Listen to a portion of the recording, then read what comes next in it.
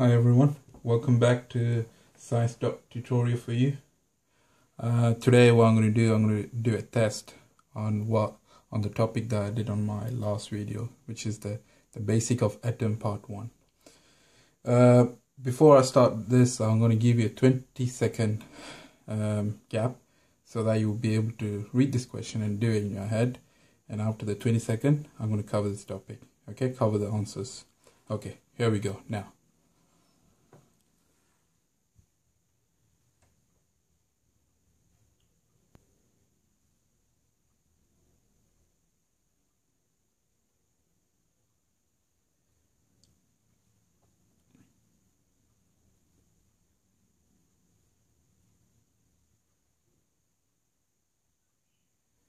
All right, that's it. Time's up. Okay, let's try these questions. What are the subpart? What are subparticles in the atom? What are subparticles in the atom? These are proton,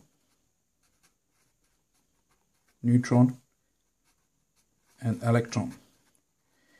If you got it right, well done.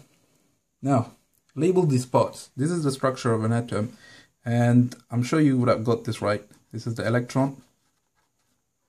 This is the shell or electron shell. You could call it shell or electron shell. It doesn't matter. If some of you think this is called an orbital, it's still fine. Okay, you could call it orbital. Now, in the center, obviously, that's the nucleus. Empty space. Okay, shaded part over here or you could say two part subparticles. So that must be the proton. And this is the it's not very clear this is the neutron. Okay. Six parts over here so six out of six. Now the third question where is the mass concentrated? Now only the only the proton and neutron has a mass so the mass is concentrated in the nucleus if you said proton and neutron is still right, okay? So one out of one. What is found in inside the nucleus? Obviously, I think I said this many times before, proton and neutron. So two points, two marks.